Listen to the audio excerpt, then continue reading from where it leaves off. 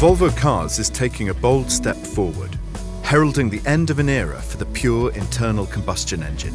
From 2019, all internal combustion engines in new Volvo cars will be supplemented with electric propulsion in the form of mild or plug-in hybrid powertrains.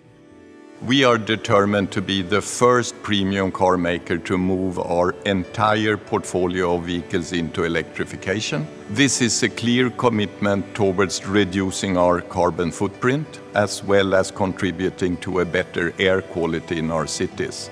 We are convinced that the future of Volvo is electric, and that's why we have stated the bold commitment to bring out 1 million twin-engine cars or all-electric cars on the roads till 2025. Volvo's drivetrain program will be based on a mix of mild hybrid, plug-in hybrid, and pure electric drivetrains. The mild hybrid is a 48-volt system using a combination of a battery that stores energy and a solution that acts as both a starter, generator, and electric motor. The 48-volt mild hybrid configuration represents an accessible stepping stone in the move to full electrification and a real alternative to the diesel engine.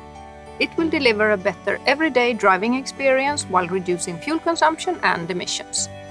Today, Volvo's twin-engine technology represents one of the leading plug-in hybrid offers available in the premium car market, delivering a no-compromise mix of pure electric, balanced hybrid, and high-performance drive modes.